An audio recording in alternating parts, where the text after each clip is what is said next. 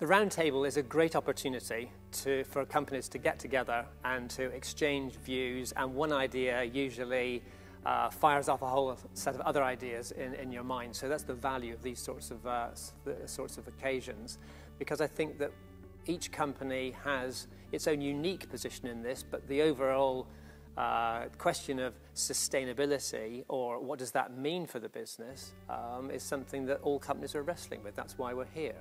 So if we've got an opportunity to spark ideas of each other, learn from each other, then it, it's really good. I think that um, by Professor Bhattacharya founding the Sustainable Business Roundtable, um, we are strengthening massively the interlock of academia and business. And, uh, and that's something we see in the discussions we're having.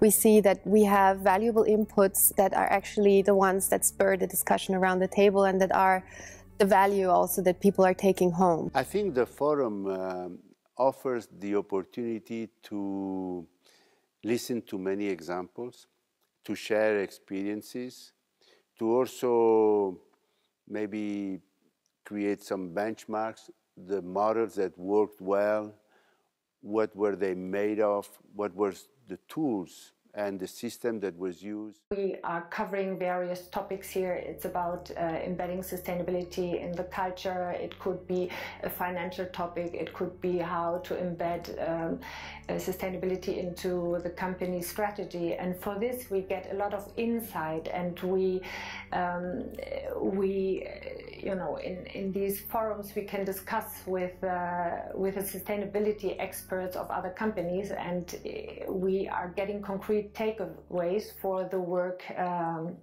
you know, in our, in our company when we are going back.